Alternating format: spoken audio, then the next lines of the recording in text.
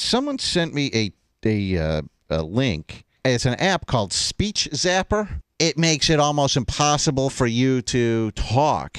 So he'll start stuttering and trying Oh to continue. God. Yeah. This Let's is do great. it. I This do that all great. the time without the app.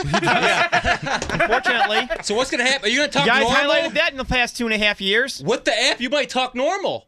Jeffrey, what what uh, movie did you go see for Skidmark? Cinema? Hangover three. All right, and tell us all about it. Uh, one of the Wolfpacks get get kidnapped by an angry gang stranger over on Go High Smush. Mr. Chow escapes from a Thailand prison on the lam. Lots of funny laughs. Well, an angry gangster kidnaps one of them, holds him for ransom, and tries to get his gold back. His gold back? because uh, the China, the Asian guy uh, steals it and spends it in in Thailand, and he tries to get back to the, but not knowing that the gold is in the gangster's house. House.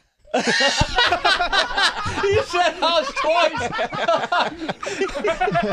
is it a bachelor party? This one? What's the plot? No, What? What is it? What is the wait. plot? The ending is very interesting, but I'm not going to give it away.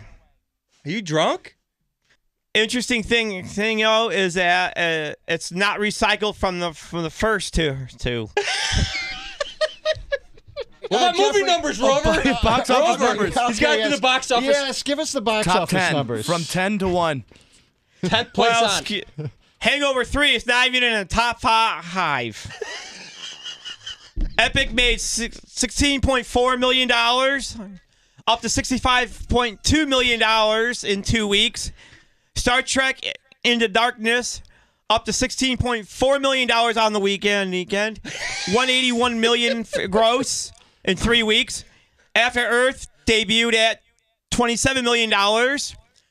Now that now you see see me, they debuted at twenty eight point one million dollars, and Fast and the F- over the weekend made thirty four point five million dollars, up to one hundred seventy million dollars in two weeks, and it's still at the top of the heap.